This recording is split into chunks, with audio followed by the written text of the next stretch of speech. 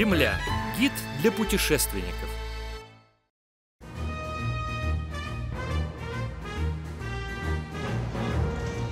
Немецкий писатель Александр Гёте, впервые оказавшись в Италии, сказал, «В этот день началась настоящая жизнь». Лично для меня путешествие по Италии привнесло в мою жизнь свет цивилизации –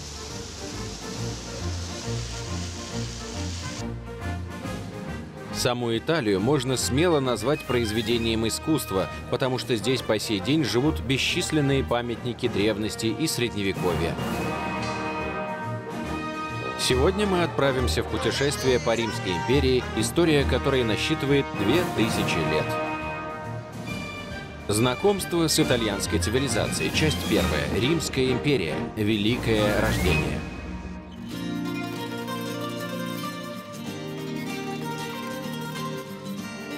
Италия – страна с богатейшим историческим наследием, лежит в Средиземном море. Римская империя, зародившаяся на этой земле, была центром Древней Европы, вокруг которого строилась история западного мира. Сегодня мы отправимся на поиски следов Римской империи в столицу Италии – Рим. Но сначала мы побываем в Каннах.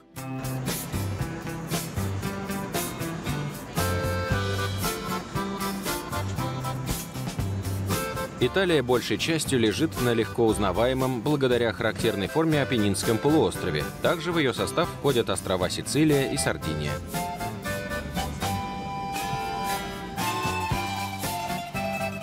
Италия, на территории которой поместилось бы три Кореи, хранит столько исторических и культурных ценностей, что ее саму впору назвать произведением искусства.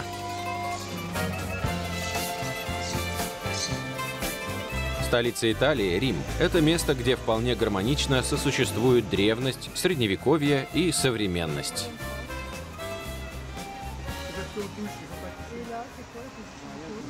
Наконец-то мы в вечном городе, в Риме. Рим до сих пор больше похож на город древности. Древние римляне, жившие в Римской империи, называли Рим Капут Мунди, что означает «столица мира».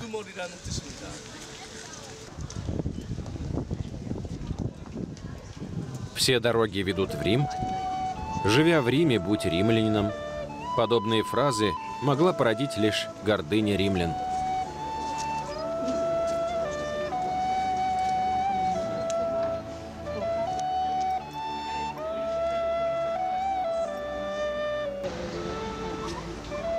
В те времена жил один человек, посвятивший жизнь завоеванию этих гордецов – его звали Ганнибал. Он был карфагенским полководцем и заклятым врагом Рима. Мое итальянское путешествие начнется с поисков следов, оставленных Ганнибалом.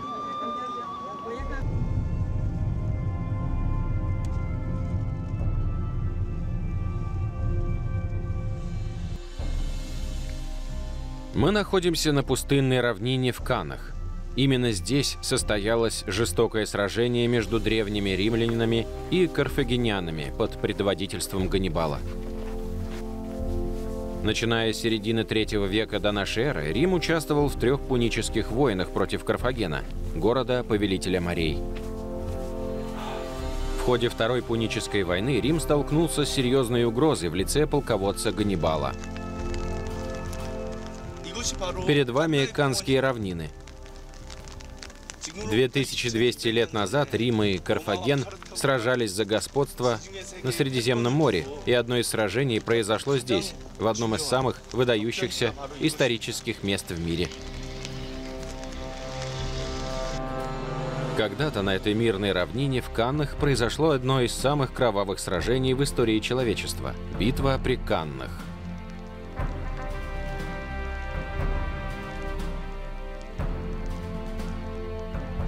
За один день в кровавой бойне Рим потерял 70 тысяч из 80 тысяч воинов.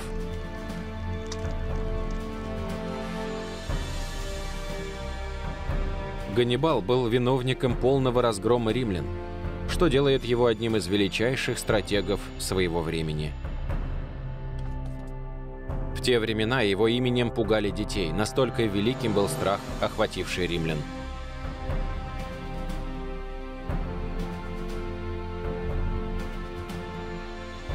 Ганнибал верхом на слоне преодолел Альпы, чтобы полностью уничтожить римскую армию. Он начал Вторую Пуническую войну, выполняя последнюю волю своего отца. Ганнибал проделал весь этот путь и обратил в бегство римлян, выполняя волю отца, который учил его побеждать, несмотря ни на что. Но, по иронии судьбы, угроза со стороны Карфагена и Ганнибала вынудила римлян сплотиться и осознать силу в единении. Впоследствии, уже после этой битвы, Рим возродился как огромная и могучая империя. Несмотря на победу в битве при Канах, Ганнибал в результате так и не смог победить Римскую империю. На этом пути разбились мечты Ганнибала о победе над римлянами. Я последую по этому пути, который закончится в Риме.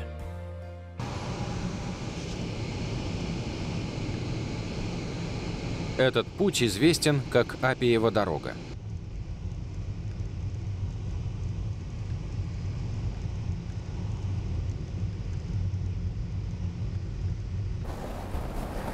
Я иду по дороге, и это необычная дорога, по которой едут машины. Это самая первая дорога, которую римляне построили 2300 лет назад. Дорога, по которой я иду, называется Апиевой дорогой. Люди пользуются ей до сих пор.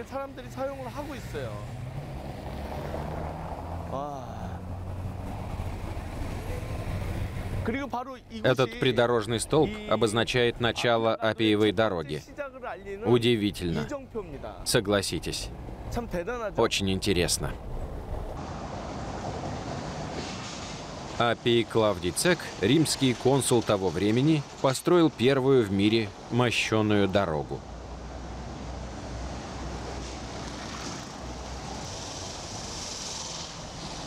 Эта дорога открыла римлянам путь в новые страны.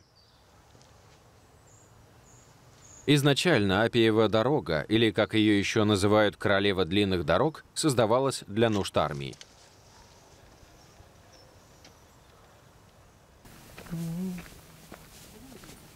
Древняя дорога, проложенная более двух тысячелетий назад, хранит память о войнах, которые пережил Рим.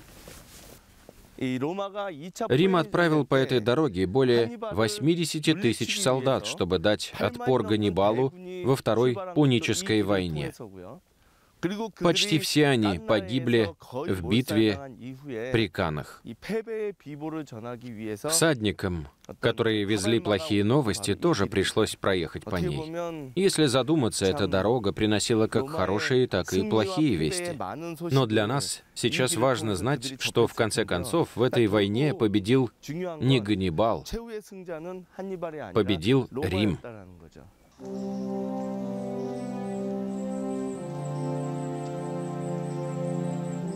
Апиева дорога является символом успеха и превосходства Римской империи.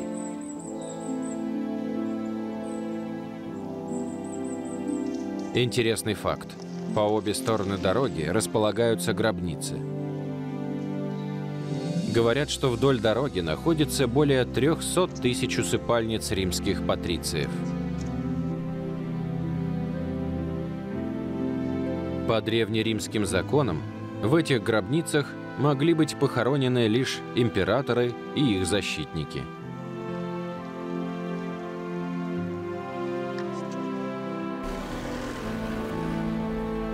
Когда-то по этой дороге катили римские колесницы, теперь же здесь ездят автомобили.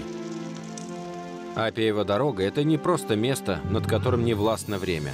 Она до сих пор существует в жизни потомков древних римлян.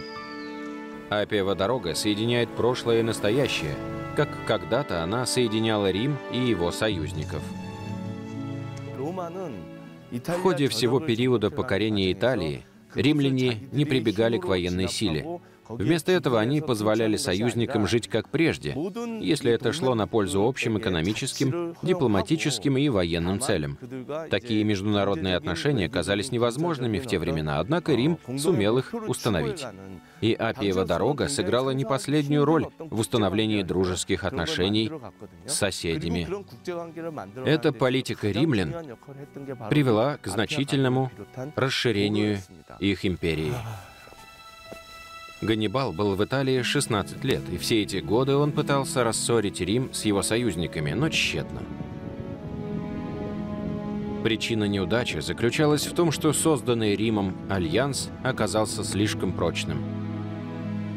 Благодаря этой дороге Рим создал Великую империю, распространившуюся на Европу, Азию и Африку.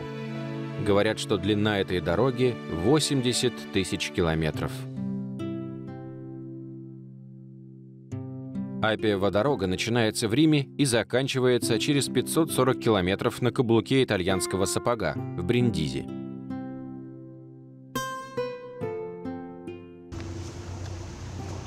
Это место означает окончание Апиевой дороги, чрезвычайно важного пути, который начинается в Риме и заканчивается в Бриндизи, пути, сыгравшем важнейшую роль в продвижении по полуострову во времена Древнего Рима.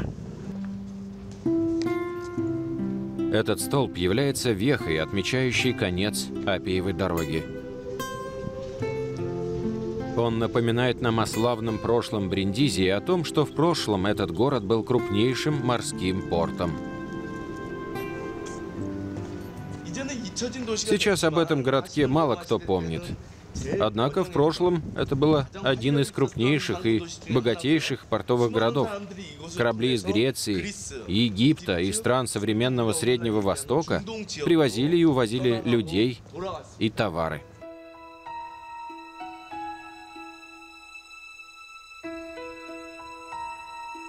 Задолго до начала своего правления Цезарь побывал в этом порту во время гражданской войны – когда его войска, преследовавшие врагов, отплыли в Грецию. В средние века Фридрих II отправился в крестовый поход именно из этого порта. Таким вот образом город Бриндизи вошел в римскую историю как врата в новые страны –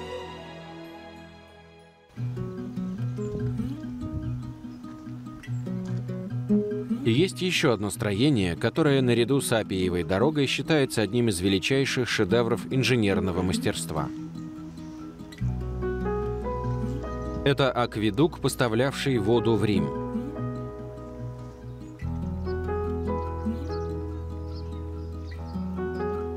Наиболее сохранившимся акведуком в Риме является Аква Клавдия –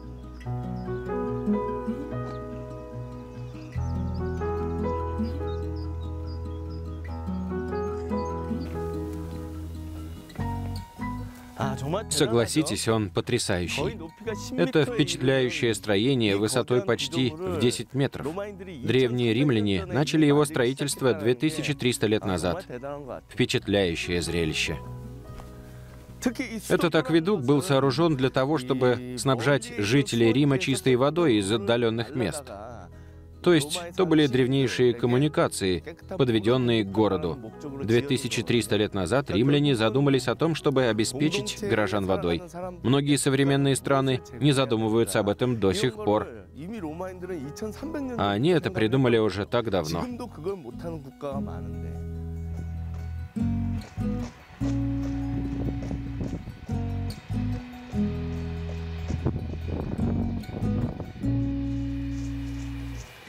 Изначально небольшой город-государство, Рим создал огромнейшую империю, распространившуюся на Европу, Азию и Африку.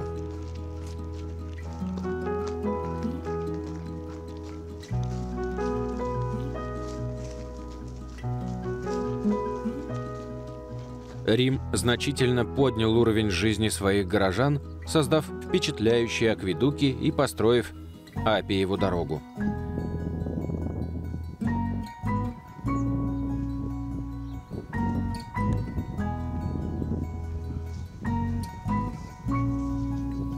Римляне сумели создать империю, существовавшую на протяжении нескольких веков.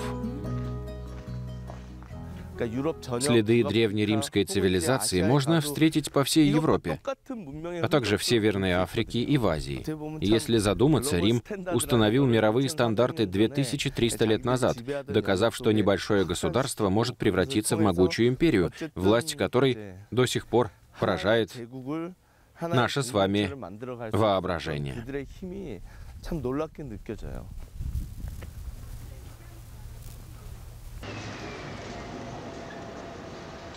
Я нахожусь неподалеку от места, хранящего память о славе и величии Римской империи. Это Римский форум.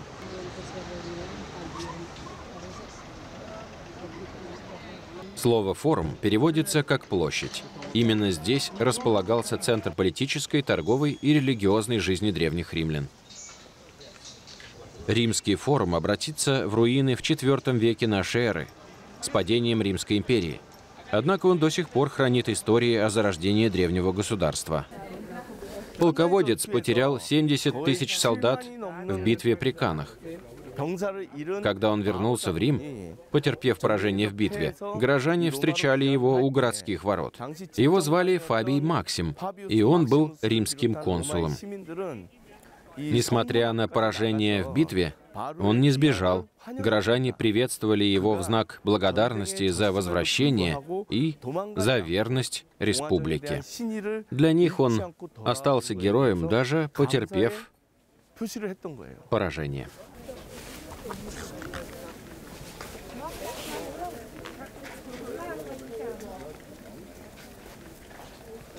Именно тогда римляне потерпели поражение от карфагенян, которых вел великий полководец Ганнибал. Если бы римляне не верили в себя и бросились бы обвинять друг друга в поражении, если бы сенаторы ударились в распри, то Риму бы ни за что не удалось победить врага. Фабий Максим к примеру, умел рассчитывать свои силы. Он знал, что в Риме нет полководца, равного Ганнибалу. Вместо того, чтобы дать бой, он уничтожил корабли, снабжавшие Ганнибала всем необходимым. Это так называемая «война на истощение». Ведя такую войну, Фабий Максим получил призрачный шанс на победу. Это привело Ганнибала в ярость.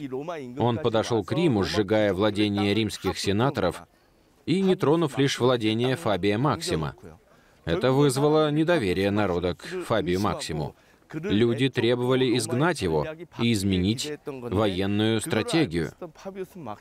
Фабий Максим знал об этом. Выступив перед Сенатом, он предложил отдать все свои земли народу. Таким образом, он доказал, что не состоит в сговоре с Ганнибалом. Благодаря его щедрости и преданности, римляне сумели выиграть сражение против Ганнибала. И он был не одинок. В эпоху ранней республики в Риме было более 50 благородных семейств. К концу эпохи республики их число сократилось до 10. Таким образом, 40 благородных семейств пожертвовали собой в ходе войн ради строительства Великой империи.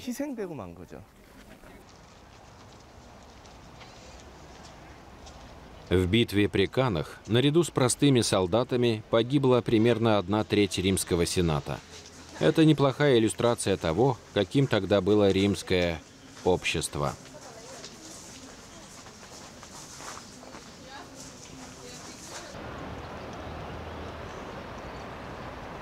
Внушительные развалины римского форума хранят множество подобных историй.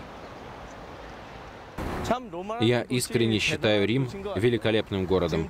Слева от меня рынок императора Трояна. А справа от меня Римский форум, некогда бывший сердцем Римской империи.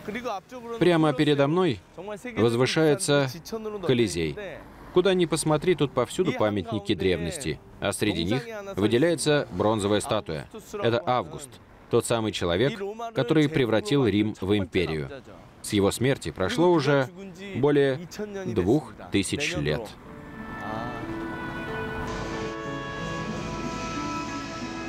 Август, приемный сын Цезаря, завершил эпоху республики, став первым императором и тем самым положив начало эпохи Римской империи.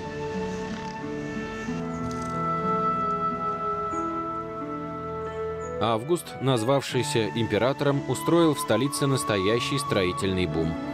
Среди построенных зданий выделяется величественный мавзолей, возведенный для него и его потомков. Мавзолей возвели в честь достижения Августа и для усиления его авторитета в глазах римлян – Рядом с мавзолеем Августа находится алтарь, представляющий эпоху правления Августа.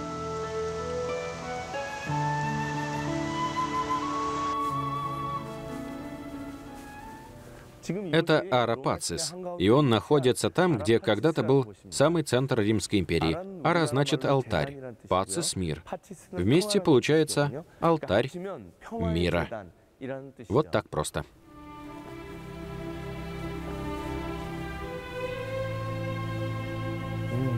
В 300 году до нашей эры Рим отбил атаку Ганнибала и стал империей, однако вскоре в нем разгорелась гражданская война. Именно Август положил конец гражданской войне, тянувшейся около сотни лет.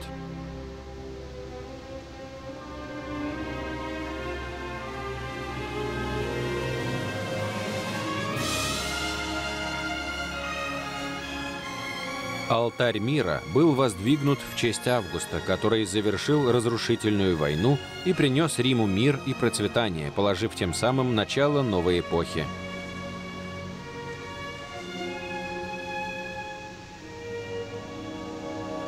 Алтарь символизирует начало римского мира, новой эпохи, начало которой положил Август.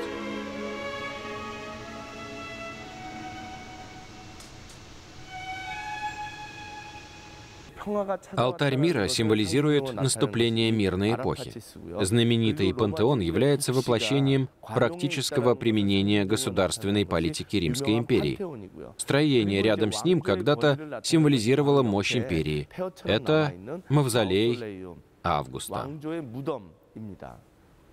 Это усыпальница императора. Впоследствии эти три строения были окружены другими постройками. Умирая, Август сказал, «Я унаследовал Рим из грязи и камня, а потомкам оставляю Рим из мрамора». Он имел полное право говорить так, поскольку гражданская война разрушила город почти до основания, но при Августе Рим возродился, превратившись в международную державу. Мирная эпоха превратила Римскую империю в процветающую державу. Колизей – это одно из важнейших строений, воздвигнутых в тот период. Руины Колизея можно смело назвать самым зрелищным и величественным памятником за всю историю Римской империи. От здания сохранилась лишь одна треть, поэтому мы можем лишь догадываться, как выглядел Колизей тогда – Часть стен разобрали. Множество элементов строения повреждены. Наполеоновские солдаты брали камень для военных нужд. И это все, что осталось. Интересно, каким он был, когда его только-только построили? Согласитесь, что одна мысль об этом приводит в трепет.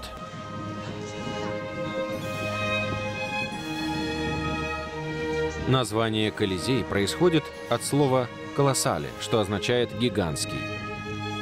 Его диаметр по длинной оси составляет 188 метров, что подтверждает справедливость названия амфитеатра.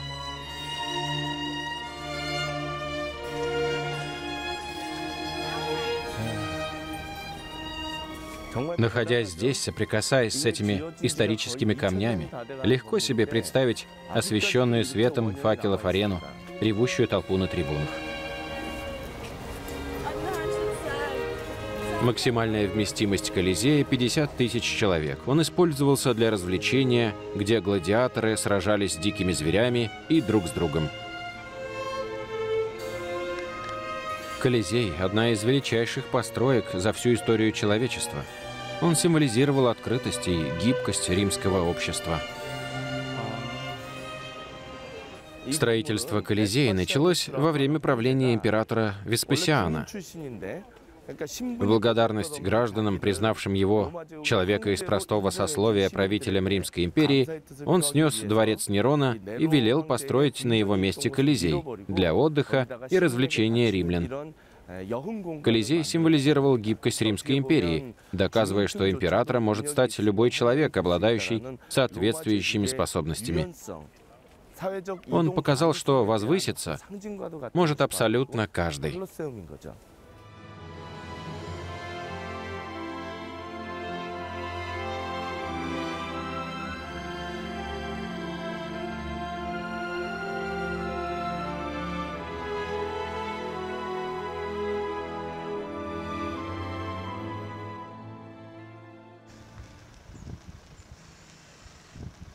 Неподалеку от Рима находится городок Марино. Во времена Римской империи сюда приезжали отдыхать аристократы. Также этот городок знаменит своим чудесным белым вином. Каждый год в октябре после сбора урожая винограда здесь проходит фестиваль. Можно бокал красного вина? Один евро. Один евро. Очень вкусно. Стаканчик этого вина стоит всего 1 евро, но вино очень вкусное.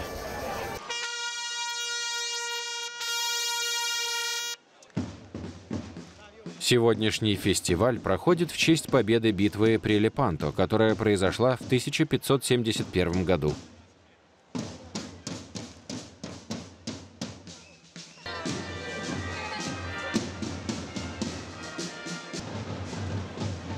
Участники парада благодарят богов за победу в войне и за начало периода процветания.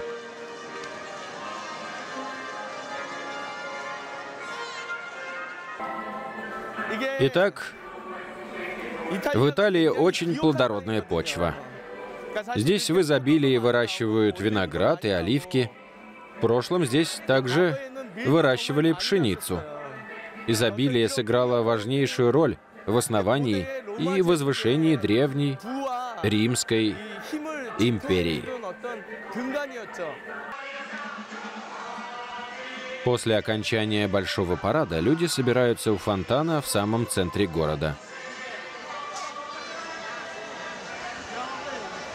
Скоро начнется главное событие сегодняшнего фестиваля. Прямо из фонтана польется настоящее вино. Здесь очень богатая земля. Скоро из фонтана потечет вино. Настоящее вино.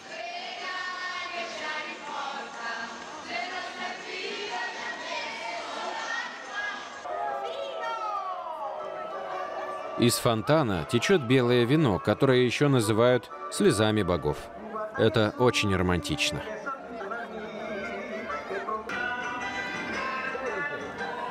Но неужели действительно из фонтана вместо воды потечет вино? Люди проталкиваются к фонтану с пустыми стаканчиками, а возвращаются уже с белым вином. Я жду уже больше 15 минут, но мой стаканчик до сих пор пустой. К бесплатному вину пробиться очень сложно. Но я почти у цели. Когда я наконец-то добрался до фонтана, я увидел, что вино льется из него вовсе не так, как я себе представлял.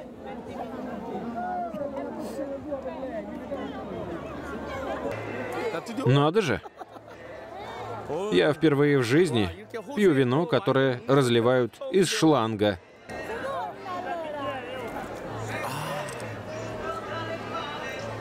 Пробиться к вину было очень непросто, но эти трудности лишь делают его еще вкуснее. Присмотревшись, я увидел, что вино действительно течет прямо из фонтана.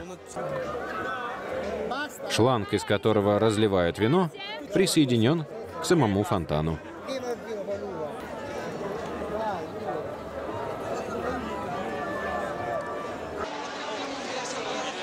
У итальянцев есть одна поговорка.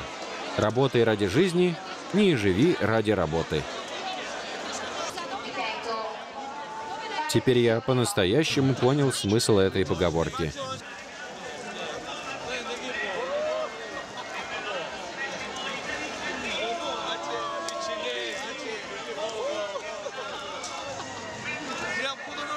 Они раздают виноград. Интересно, с кем я буду его есть?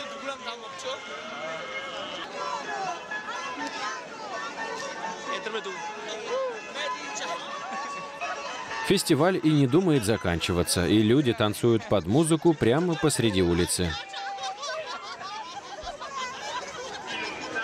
Сердце путешественника наполняется радостью этой богатой земли. Возможно, именно благодаря богатству земли небольшой город-государство Рим сумел превратиться в могущественную империю.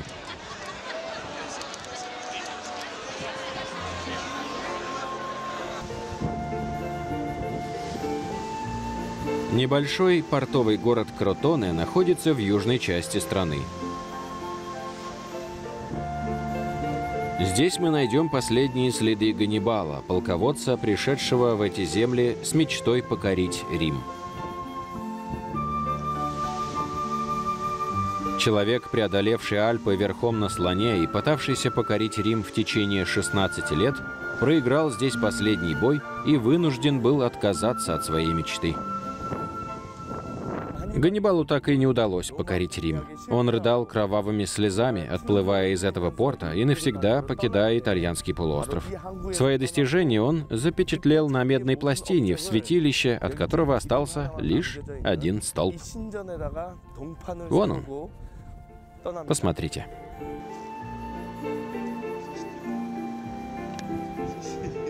Ганнибал одерживал большие и скромные победы на итальянском полуострове, однако ему пришлось отказаться от завоевания Рима, когда римские солдаты напали на его родной Карфаген.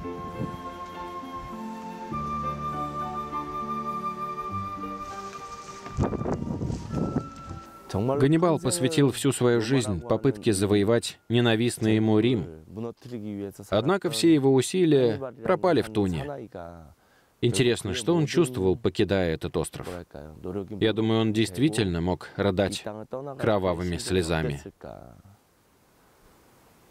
Кровавые слезы, которые он, возможно, проливал, отплывая от италийских берегов, не сравнятся с реками крови, пролитые римлянами, защищавшими от Ганнибала свои земли. Память об их подвиге здесь, в месте, где Ганнибал оставил свой последний след, как символ великого римского народа, прогнавшего завоевателя со своих земель. Это чрезвычайно трогательно. По иронии судьбы, именно благодаря Ганнибалу Рим превратился в могучую империю.